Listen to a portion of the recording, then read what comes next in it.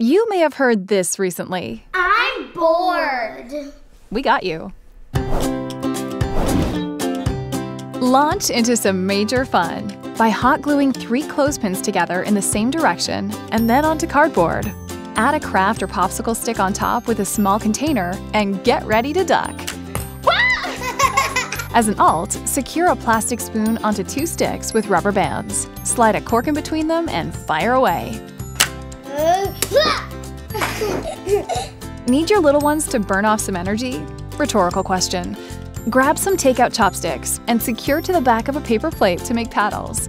Blow up a balloon and you've got a mean game of indoor tennis that will have everyone working up a sweat. but mostly you, Mom. Bad news? You're out of toilet paper. Good news? You've got an awesome STEM project. Just cut up and strategically tape up your empty rolls, decorate to your heart's content, and then watch a ping pong ball make its way through the maze. Add even more obstacles like magnetic tile hoops to maximize this intelligent fun. Speaking of STEM, using just one foot of aluminum foil, ask your kids to make little boats, put them in the bathtub or a bin. See how many pennies you can add without sinking the ship.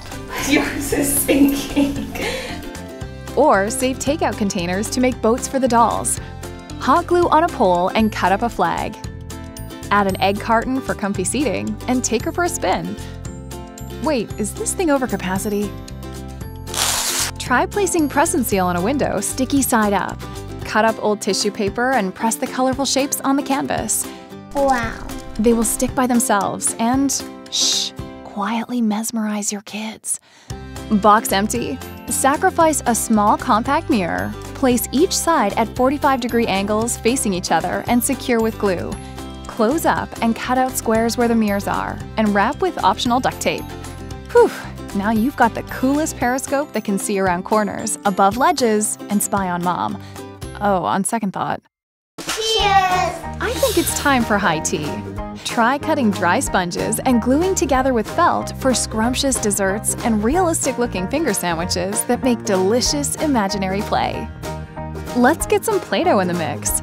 Use Tupperware as a base for a cake and kitchen items to decorate, including paper straws as candles.